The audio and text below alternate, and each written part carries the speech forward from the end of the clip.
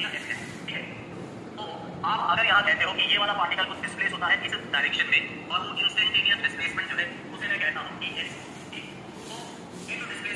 पहले जाए कहीं से सिलेक्शन हो